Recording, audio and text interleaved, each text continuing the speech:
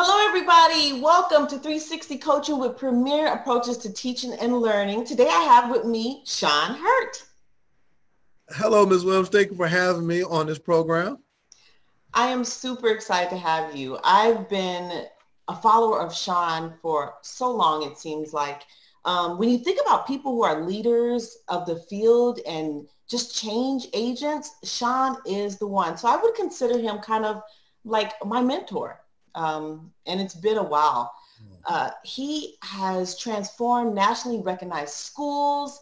You know, he became a principal and he has really uh, been able to raise achievement for our students. So just just to know somebody like that or have somebody like that in your corner is so amazing. He's been nationally recognized, have received multiple awards for being the change agent. So welcome today to our presentation. Go ahead and tell us.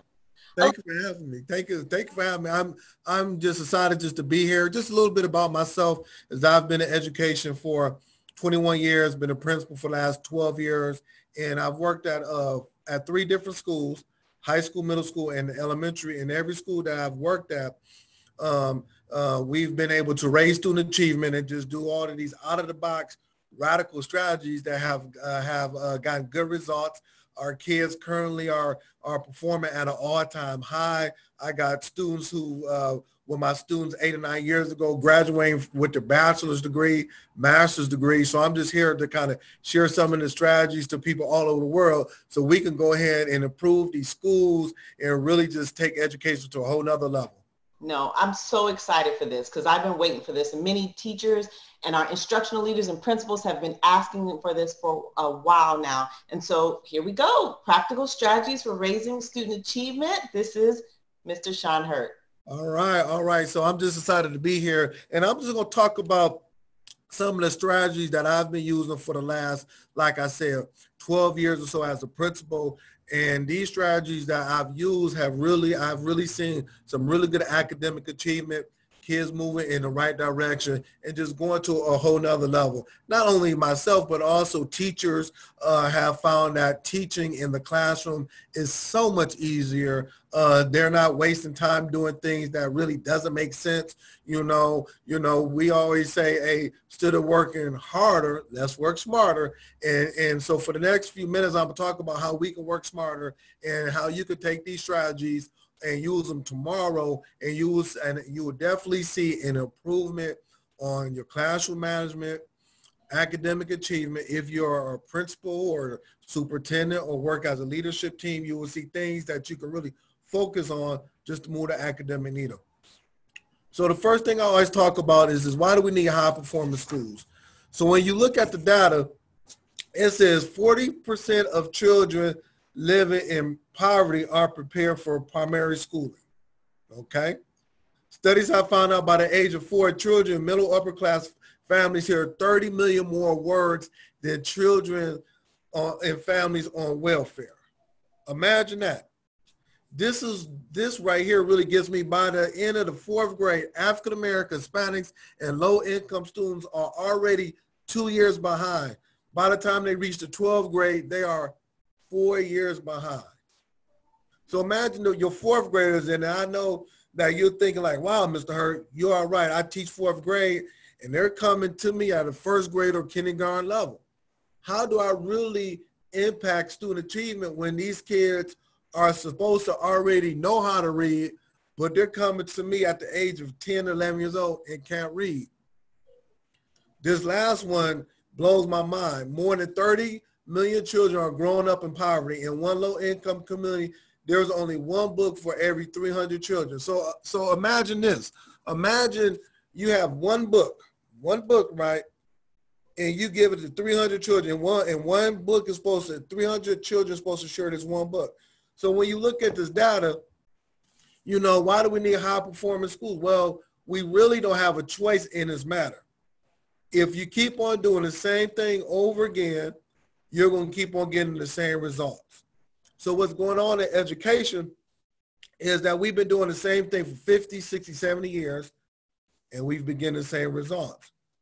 So what I decided 12 years ago, I said, know what? as a principal, I'm gonna do something totally different because I have nothing to lose. I knew that if I was gonna try these strategies, my school is gonna still be a failing school. How about I try something different that's gonna address the needs of the students and then hopefully we'll get some different outcomes. And lo and behold, when I was a principal in, at my first school, we went from the lowest uh, the lowest achieving school in the district to some of the highest in our district and also in our county. So I know that these strategies I'm gonna give to you do work and they work consistently across the board. So the, so the first question I always ask is that do these students that you see in this picture, whether they're high school students, middle school students, or elementary, do they look like your students? And a lot of times they say, yes, Mr. They look like my students. So these pictures are students of, of, of, of, of, of kids that I was the principal of, okay? So, you know, so these are my students. These are real life students. So they probably look like your kids. But the reality is this. They come from situations like this.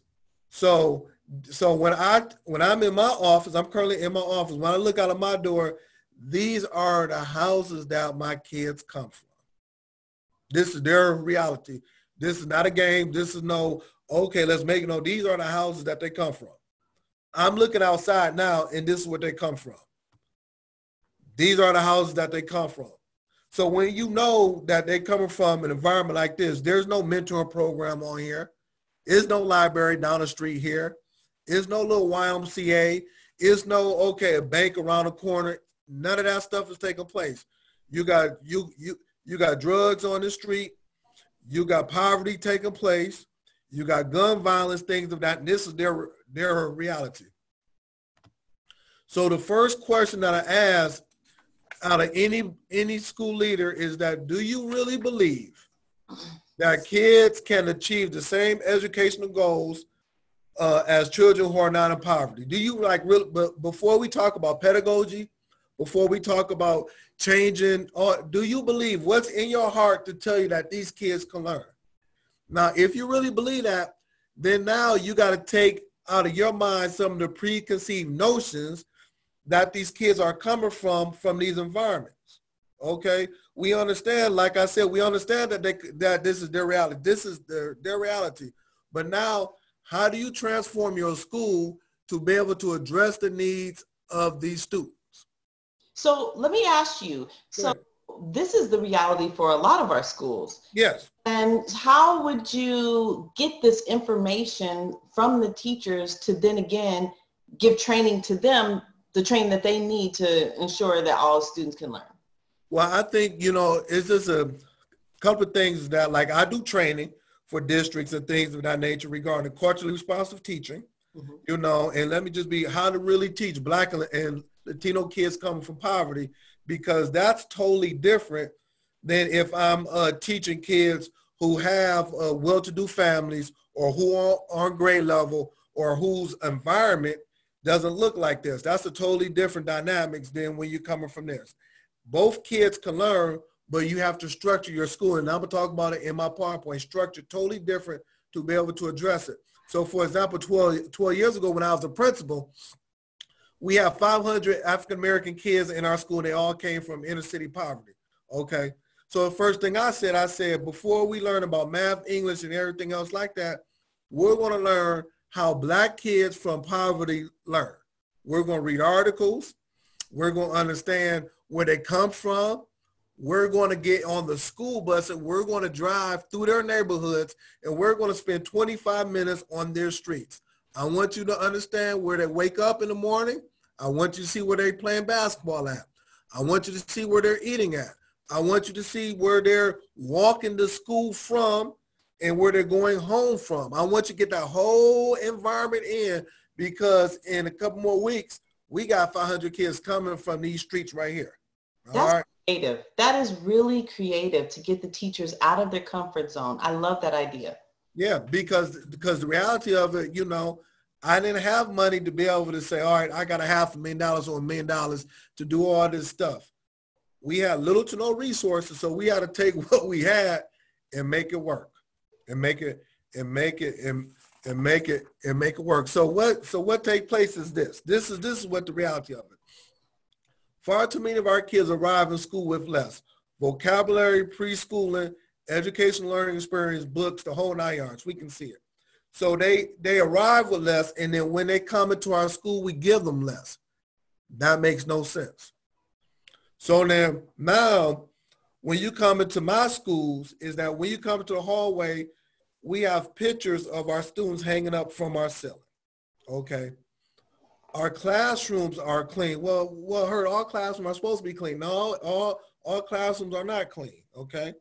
So how can the kids code switch? Now, follow me very closely. How can they code switch from where they're coming from, where where they're coming from, their house or their bedroom, and they come into your school, and your school looks like their neighborhood.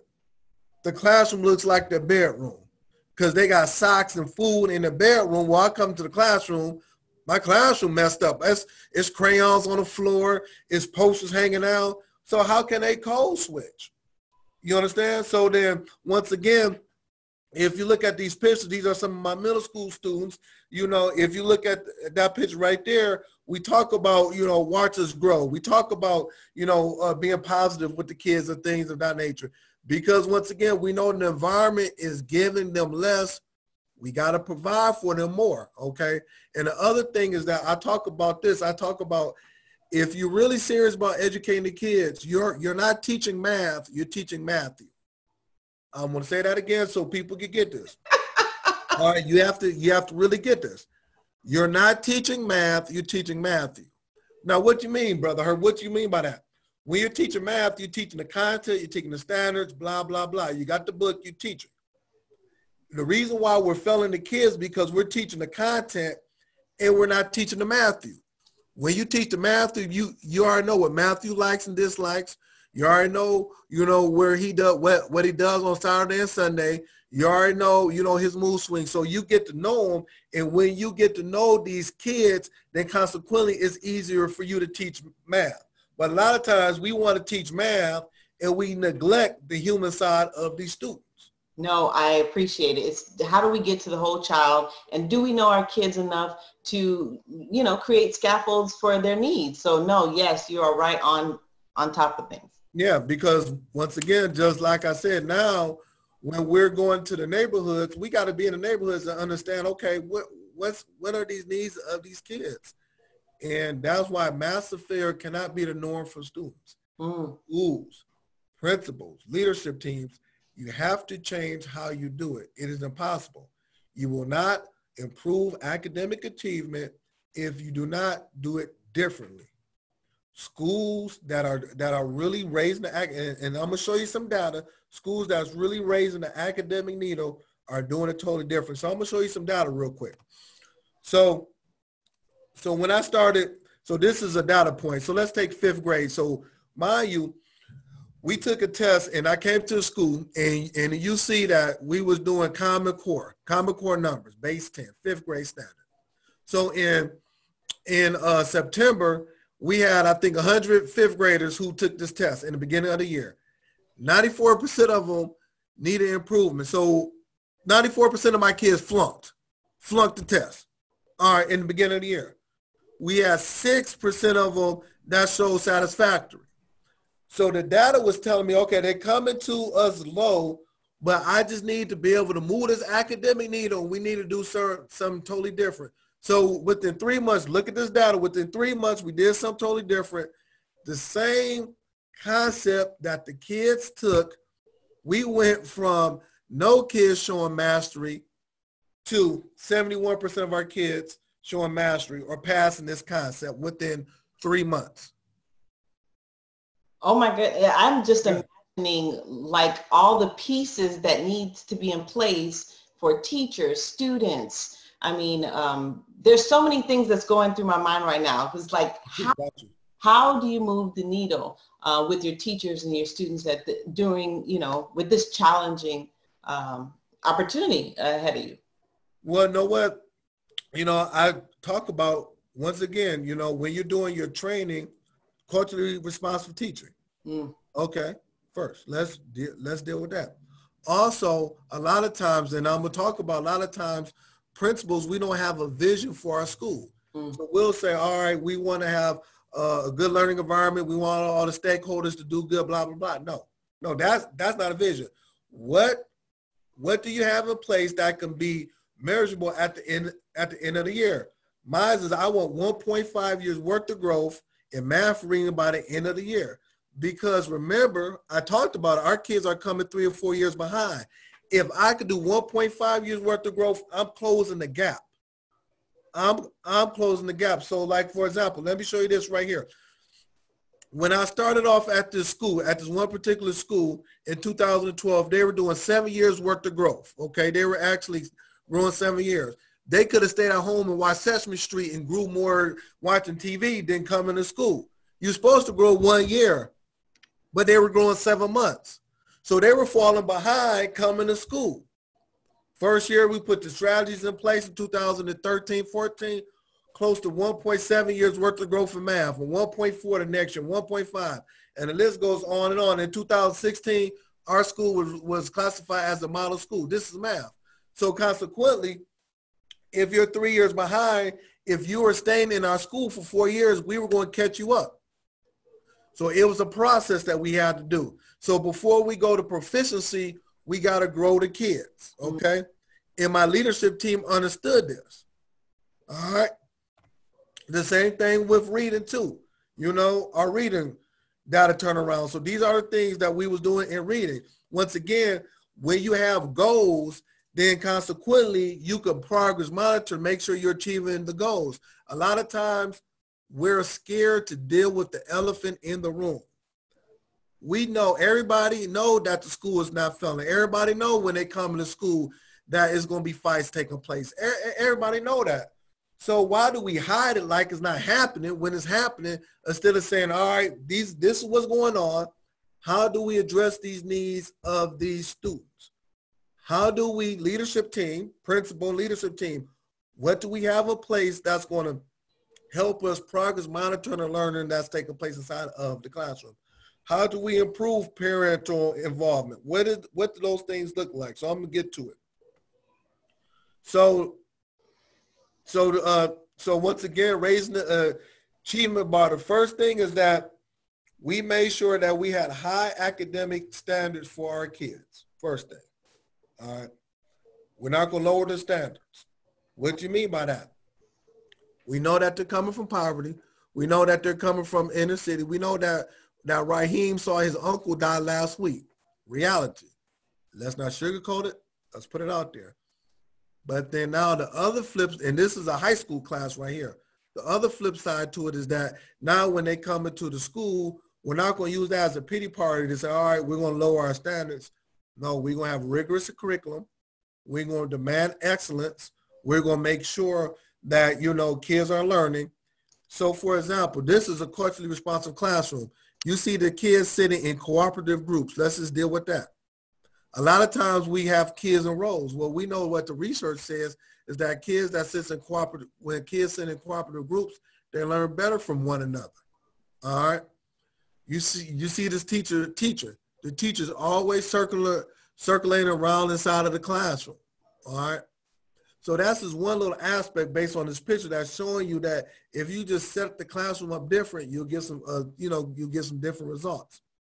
No, I, I, I love it. Um, I often wonder like what, so I'm thinking, so I guess the teachers were sitting and doing vertical planning, planning time, but what is the one, what are some things that you did different? I know a school in Los Angeles, I was reading about them. One of the things they did was uh, kind of interview every child that came in and kind of document it to find areas of support that they can help the families. And so kind of connecting them to the resource once they got there. What are some kind of outside of the box things that you do at your school? Because this is really, really, really good. Well, let's just deal with this is that, um, is that like in the beginning of the year, when schools have open houses and stuff like that, every school have open house. Well, what, what we did two years ago is that we said, all right, we want the parents to come into our open house, but also we want to reach our parents. So what I did was I went into the community and I asked five businesses if they could come to the open house and set up a table. Okay, these are businesses. And would they be willing to bring in applications and can my parents fill out applications on the spot? They told me, Mr. Hurt, not only will we allow them to fill out applications, but we will hire them on the spot. Oh wow. Okay, now now now now, now this is now this is now when you talk about reaching the whole community, okay. So now what I did was I told my parents, I said, if you got anybody looking for it, these are the five, five jobs that's coming in. Bring your resume, bring anything you got. If you fit any of these jobs, they're gonna hire you on the spot. If it's not you, if you got an uncle, church member, whoever it is, grandma, whoever it is, if they fit these categories, they come in. So we had our open house. We had 92% of our parents attend our open house. I wanted the parents to come in to make sure that they hear what the teacher got to say. Now, 92% of parents came. On that particular day, 60 parents either A, got a job, or B, fill out an application. Wow. So within an hour from 6 to 7 o'clock, I got parents just it changed the whole dynamics of the world. Now we talk about poverty right now. We talk about, you know, so now if I'm coming, if I'm waking up and on the day I don't got a job and then by seven o'clock I got a job, how is that changing the mindset of those kids coming to the school? Yes, mindset and the mindset of the community and the family members who are just grateful and dedicated and are willing to go above and beyond to support the school, the students. So you forever have a, a community, a family yeah. to call on whenever you need it. So yeah. that is amazing. Yeah, and then and it cost me a penny because once again they came for free. I didn't. My parents was there, so it was a win-win for for everybody. The the other thing is that when you really want to move to, I'm, I'm giving some strategy. When you really want to move to academic needle, the next thing is that you must understand your data, and and I really talk about that.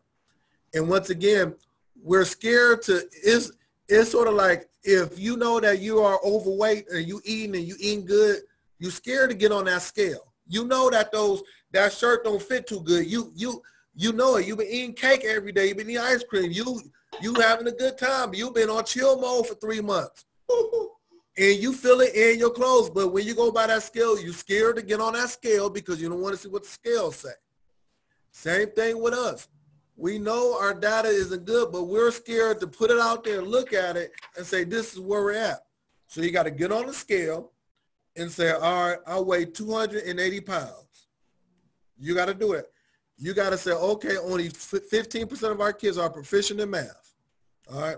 Now, at the end of the year, I want to go from 280 pounds to 200 pounds. I, I got to lose 80 pounds at the end of the year, I want to go from 15% of our kids proficient to 30% of our kids being proficient. All right.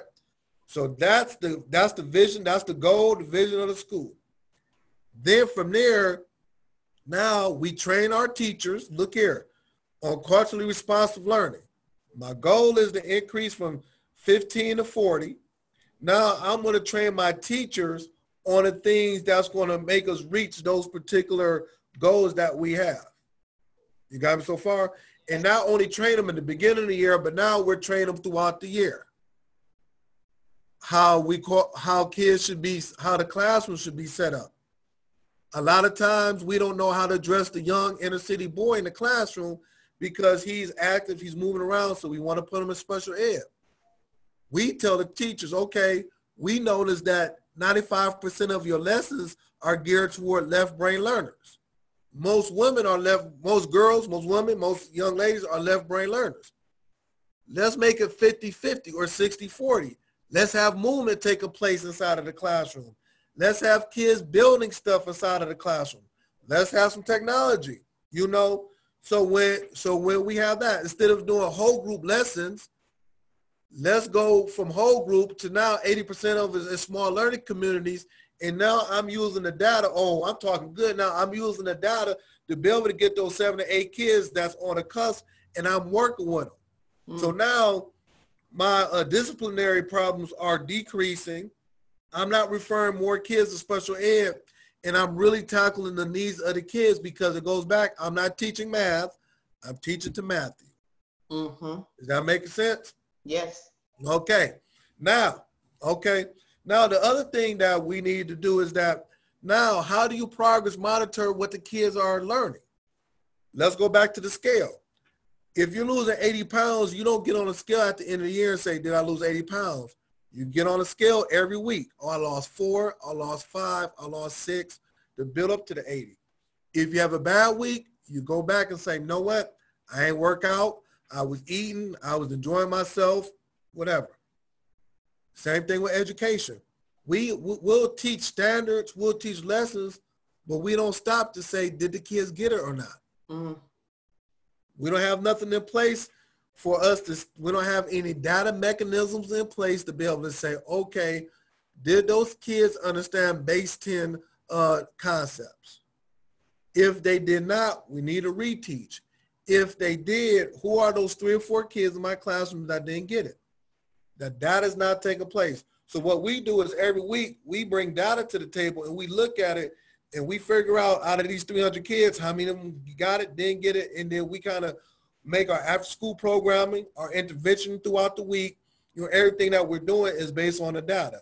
It's not based on my feelings, my emotions. It's based on data. So now consequently, when you're dealing with the data, the data doesn't lie. The data is going to tell you where to put your money at, your resources, your time, your energy, X, Y, Z. No, okay.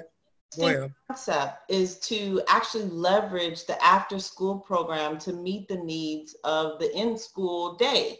Yeah. Um, that's a foreign concept in certain areas uh, because some people feel like that's not my area that is this external program that's not connected to the school. So how do you, um, how are you able to connect with the after school program or you just speak to the director or to make sure they're implementing the supports needed for your students to be successful?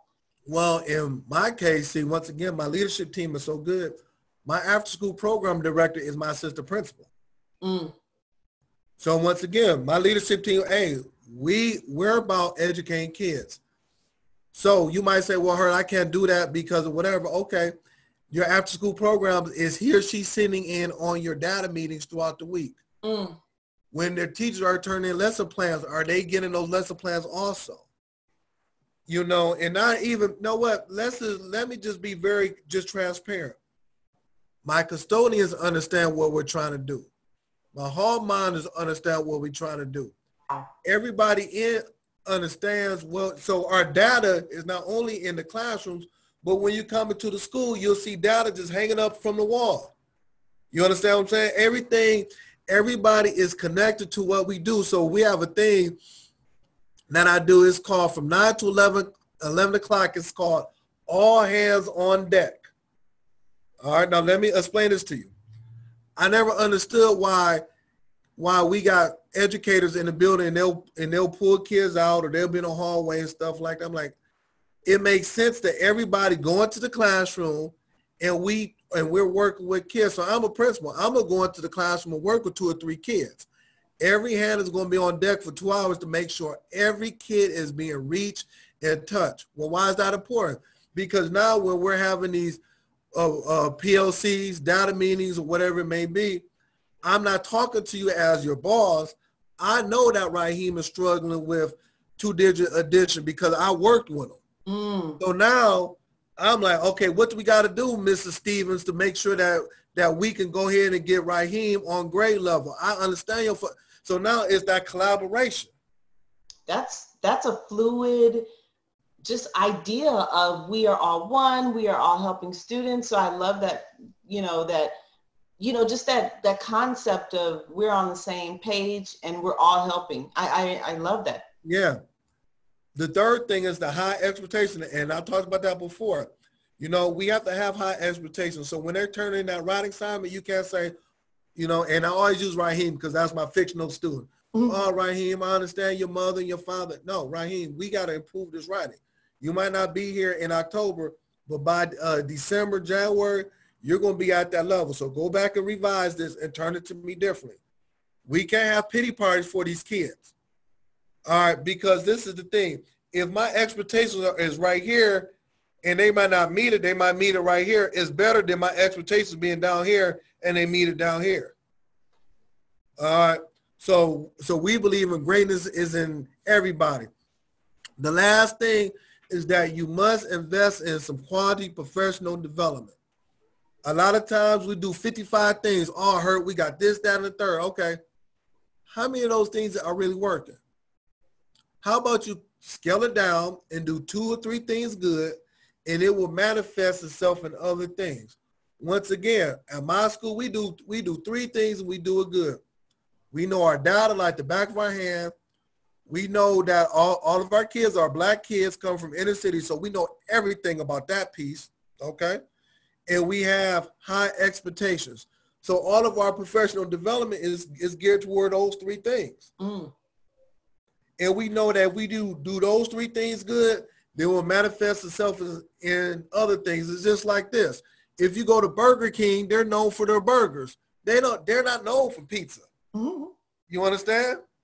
If you go to Pizza Hut or Little Caesars, they're not making fries. They're known for pizza. At schools, we just known for those three things, and we do it good, and it gets us these type of um, these type of uh, awards that we're getting. The last thing is that you must develop your leadership team. Now, I'm gonna boast about this. Being a principal for 12 years, I currently have nine people that work at other schools that are either principals or assistant principals, and they've been my former teachers. I'm gonna say that again. We got to get this, principals. I've been a principal for 12 years. Currently, I have nine. I have nine former teachers that are that are principals and assistant principals currently at different schools in different school districts. So for me, I tell them all of the time, I want you to go to the next level.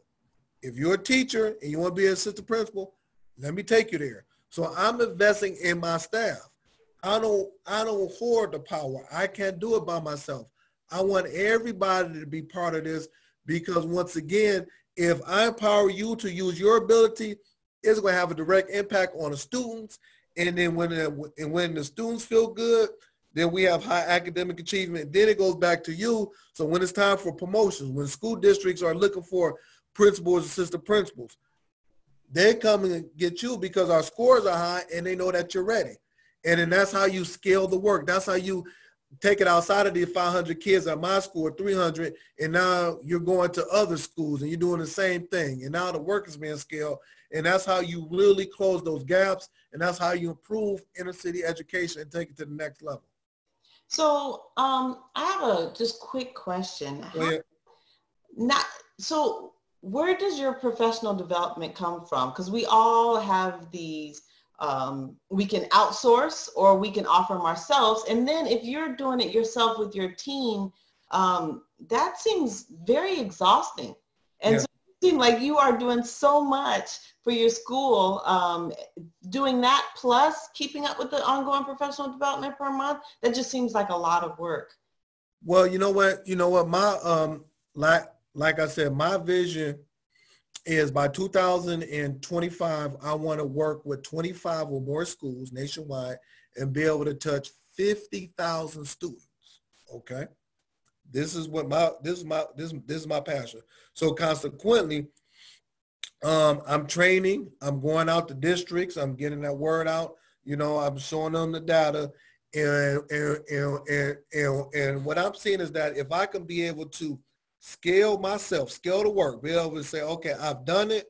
Now I need other people to do it at their school, and then it's going to be a ripple effect. You know, I'm passionate about it. I've seen it for many years that these kids can learn. You know, I see it. When I was a principal, I said, if I could just improve one school, then I'm going to tell the whole world about it. Well, now this is my third school. So now I know what I've just said for the last 40 minutes do work. It's been proven. I have data to show it. Now we need to get these other schools doing it because once again, I don't feel good waking up in the morning and saying, okay, my school is doing good. My leadership team is doing good. But I know good and well that there are schools in Florida that needs this work, in California, Indiana, Atlanta, wherever you are, there's more schools that need this work. So how do I reach that on a global mass? And I'm passionate about it. So I'm I'm telling everybody that I'm I'm there for them. I want to do the work. I want to get it out there because these kids can learn. Yes. So uh, this is a book, you know, that I just wrote a couple years ago, and it talks about the strategies that I'm using to transform inner city schools. So it gives a really good foundation on the work that I'm doing. the things that uh, I did that might not have been positive. You know, I don't want educators to do that, but also the things that I did that helped me move this academic needle, help me take it to the next level, you know, and uh, you can pick that book up from our uh, website, shurtschoolturnaroundspecialist.com, you know, or you can reach me on Twitter, Facebook, every uh, Sunday at 7 o'clock. I'm doing Facebook Lives. I'm talking about it. You know, during this COVID-19, I'm doing virtual uh, professional developments with leadership teams. So whatever I have to do to get it out there, I'm open to it. No, I, you know, I commend you. You are everywhere. And every time I see pictures of, you know, students hanging from the ceiling, I think of you because uh, that's just, you know, it, it, just brings me joy to think that students can come in and see their face and be just proud. And, you know, with the book, don't forget, you got to get the book. Yeah. Um, you know, Shawn Hurt, go on his website, get his book, and follow him because he provides great tips. His videos are good and just good insight on things that you could do at your school. Yeah. Yeah, Noah, let me give a, a testimony. Last two years ago, I got a call from a principal in South Carolina. Currently, I'm in Michigan, but a school I was working with in South Carolina. She called me three days after Christmas, okay, because they were a priority school and the state was about to take them over. So I worked with them for a year, really good team. She called me three days after Christmas. And in the background, I'm hearing a whole bunch of people yelling and screaming, music playing. She said, Mr. Hurt, I want to tell you that we got our scores back. We are off the priority list. I told my teachers we're going to have a party. They came up to the school. We're partying. And I just want you to hear about the assignment that that's displaying from these teachers. And I can't wait to tell the community and that brought tears to my eyes because I'm like, wow, you know what? When you hear when you hear testimonies like that, you hear principals like, I could keep my job because I was going to lose my job. When you hear teachers saying, hey, these 800 kids, we know we can learn now. We have confidence now. We're going to go to another level. That's what it's all about. And like I know, I know without a shadow of doubt that kids can learn inner city kids can learn. We just have to change how we go about fixing our schools and then win our schools, and we will see a, a positive impact on student achievement. Wow. So thank you so much. You guys follow Shawn Hurt, but I appreciate you for spending the time with me and hanging with us. And I know that you guys will take away so many good tips. And if you need extra support, you can always reach out to him. So thank you, Mr. Hurt. Thank you. Thank you very much for inviting me, Mrs. Williams. You know, I love what you're doing. Been following you and, and I'm, and, you know, developing our relationship. So I'm a big fan of you, of your work, of, of everything that you're doing. So thank you very, it was an honor coming on your show. It was an honor. Thank you so much. Talk to you later. Okay. Thank you.